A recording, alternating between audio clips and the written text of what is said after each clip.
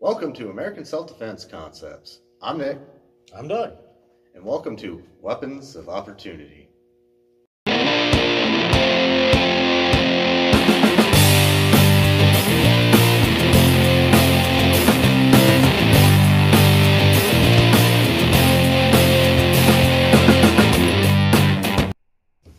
Welcome back to Fire Central.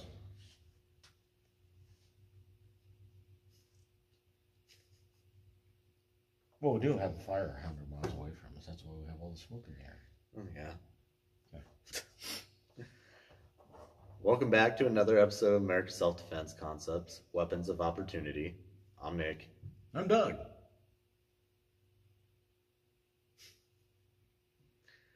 All right, so today, this one's going to be more of a uh, kind of like a cultural kind of weapon, and gotta give you a little history with it today.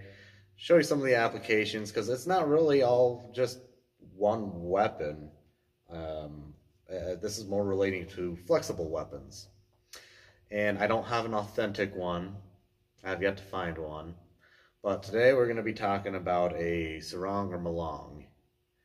And That's not to be confused with a thong at Daytona Beach. uh, yeah.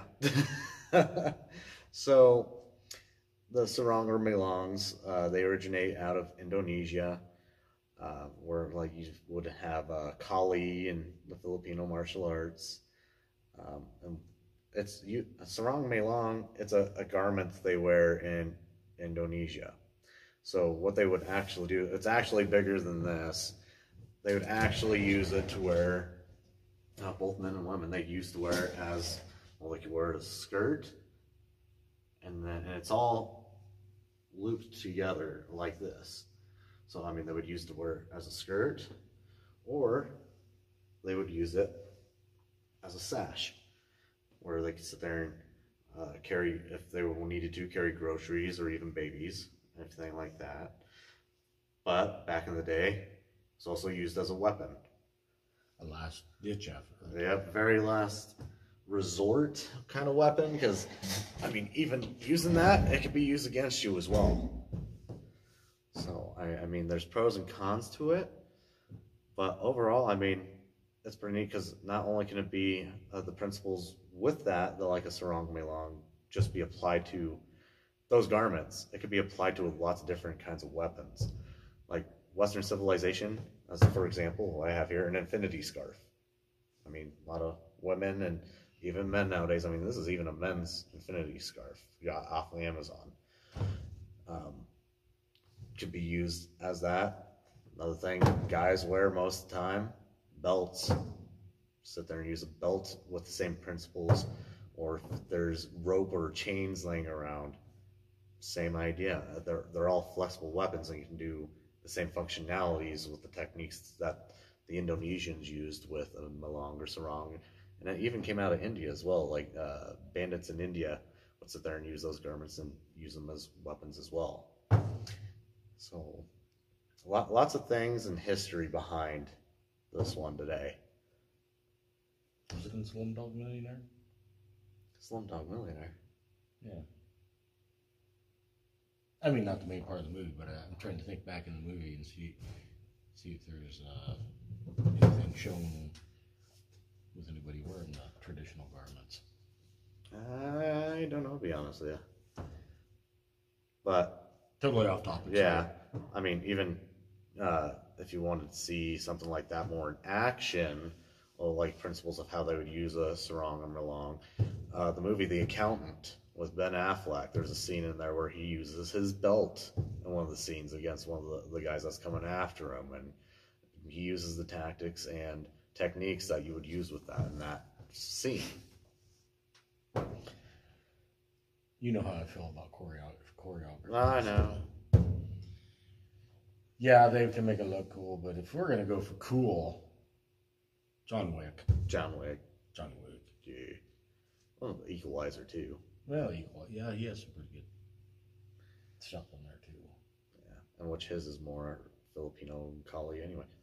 Other one that uses that, Bourne. Jason Bourne uses the Filipino martial arts in Kali. Yeah, he actually uh, the, when he does the, uh, roll the newspaper that comes outside our city lot, so. Yep. now we got talking about movies.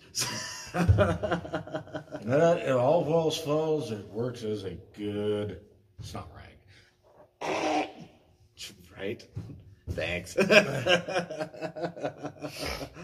yeah. well, we're we're gonna give you some ideas um, and show you a few different snippets of how we would use this as a weapon and show you what kind of things it, could be, how it can be applied. So we're gonna take you over here and show you how we use it. All right. So I said we're gonna get to a little bit of application with it here. So again, we're going over the sarong malong, how it's used. So first thing that I like to do with it, they need to close distance. They would sit there and use it the swing. And when they were using this, if there's water around to help with the effects, they would dip it in water, get it wet, like a snapping a wet towel. No, no, not a Penn State. No Penn State, no Penn State. So, like they would dip it in water, or sometimes they would put uh, a stone or a rock inside that as well, and wrap it up in there and start beating them with it. Wow. Use it as a flail. But the idea with it, with it using with the long range here, I said dip it in water or putting a rock in it, they would use it to swing at an opponent, either coming at them, and they would start high, go for the eyes and the face, and then they would come back, strike down low, come up high again, all the while getting closer to the target. Or if they needed to, if someone was attacking or coming closer to them, they uh, use to create space. Okay. And I mean, mine, yeah, uh, it's not made really out of the material they were used for it. I don't like this infinity scarf much because it's very stretchy still. I'd like to be more mm-hmm. taut with it and a little bit of heavier material because if you get some good material like that, it's gonna hurt even hitting with that. Hey, boy. okay, and then even off, let's say he threw a punch. One of the things I like to do, sit there and they'd go here with it, and they would sit there and use it as a snap, bam, hit along the face. And, and if you're doing that pretty hard, and again, if it's wet too, it's going to be a good forceful snap. Okay, and I mean, one, it can conceal what you're doing next, or just good little force to get them moved back a little bit, depending where you're hitting. So they hit a face, you can do it here, or even up along the shoulder. Bam. Okay. You can even use it for more even takedowns with that too. So I mean, if he's coming, bam. Okay. What? Get me in the nuts. okay. So, I, so first one was using it as a distance, either to close the distance or create the space between you. Okay. Next one. So we're gonna use it with a sash application here. Okay, like they would back in Indonesia. So, what they're gonna, what you would use this off of, so I'm wearing this as a sash, he threw a punch, okay? I'm right here, okay? My pop, come back up, knee, get the bend, okay? Go for a modified guillotine here. Like you see in UFC, come up for a guillotine, but what I'm doing in this process, I'm not really putting the choke on yet.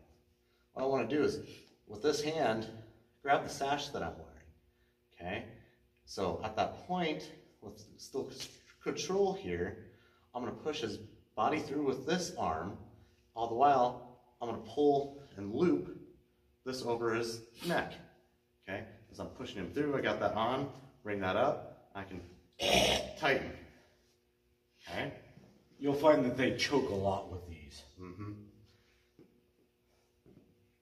Okay, so it's the application with it really as a sash. And I mean, there's a lot more with that sash on there, but I'm not going to get too crazy with this uh, on a YouTube video. If you want to learn how to use it, come down to a class. Okay. And then the other application they would have for it is using it as double weave.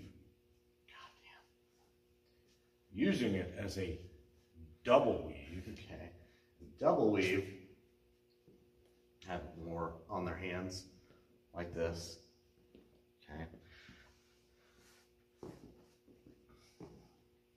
And one I'm going to show you with this is what they call uh, sparrow loop. Okay. And so we're going to go off of four count. So he's going to throw four punches here, starting with his lead hand. Okay. So parry, parry, parry, boom, snap. Okay. Right there. Okay. And you notice what that did to his body right there, right? Okay. So even here, what I'm going to do is there, come up control. Okay. And you sit there and wrap that around his neck. So even if it's here, come up, boom, right here. Okay. And what I'm gonna do next is I'm gonna come behind him. Oh yeah. So turn. Okay. I'm gonna have this motion right here with it. And I'm gonna be facing away from him and walking at the same time because now he's gonna have to follow. Okay. So if he was want to try to turn and escape out of it, okay, sit there, follow through. Turn it the other way. Nobody chokes me without my consent. or you like it, you. Okay? And even if he tried pulling it down, which most people are going to try to pull that down off the neck, that's okay. Let him pull it down. So if he keeps pulling it down, eventually he's going to get over his shoulders and look. He's the more he pulls it down, the more he's closing his arms. And all I got to do at this point is just tourniquet it. Bam. Yeah. Okay. And then you can do takedown after that and keep him in that. But that's the sparrow loop right there. So the idea behind that, again, snap it, snap down, come up, you know, and then you want to think this arm, even with this hand, pull the head if you need to. Because your idea is want to get this arm up over their head so that way they sink right into that sparrow loop. And again, turn, boom, right here. Okay?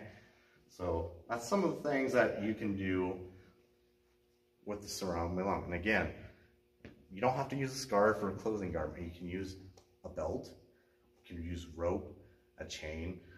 All of them have the same application with this. Yep. And then what else it's good for? Say he had a knife. Okay? So, I'm gonna cut you, SA! So he's got a knife, okay? The other thing again is reach. And I can use this against a weapon, okay? Now, am I gonna get too crazy with that? No. Good, uh, what I'm wanting to show you with this is it's gonna give me less chances of cutting my hand and trying to strike at the weapon till I can get control of post, okay? To where I can get control of that arm. Works as a good distraction too. I mean, once you get that post, ah, except I totally missed. Yeah, you totally missed.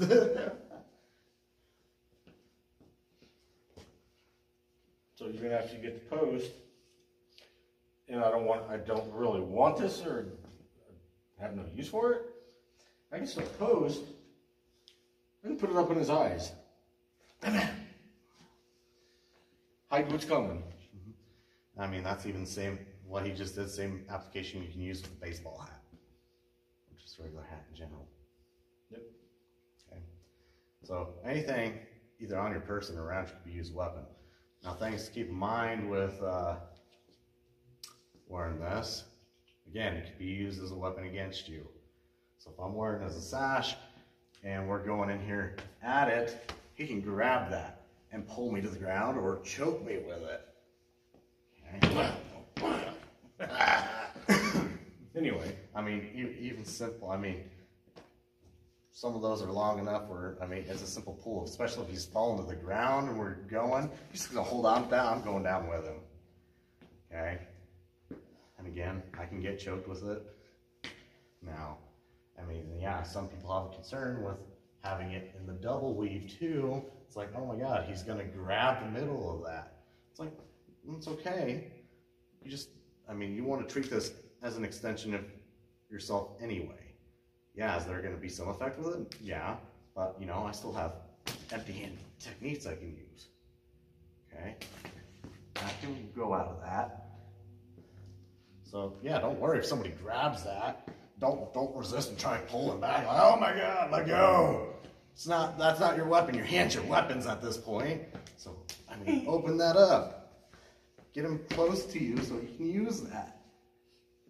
Okay.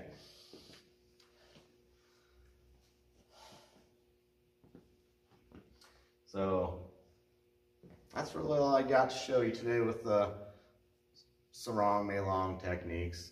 Okay, so like I said today, we showed you more how to use uh, the sparrow loop with that, creating distance. Okay, and then also, you know, hey, this is something that might protect my hand if he's coming at me with a knife. Okay, until I can sit there and get in close enough where I can get control of his weapon arm. And then again, this, these techniques don't apply just to this, applies to multiple flexible objects.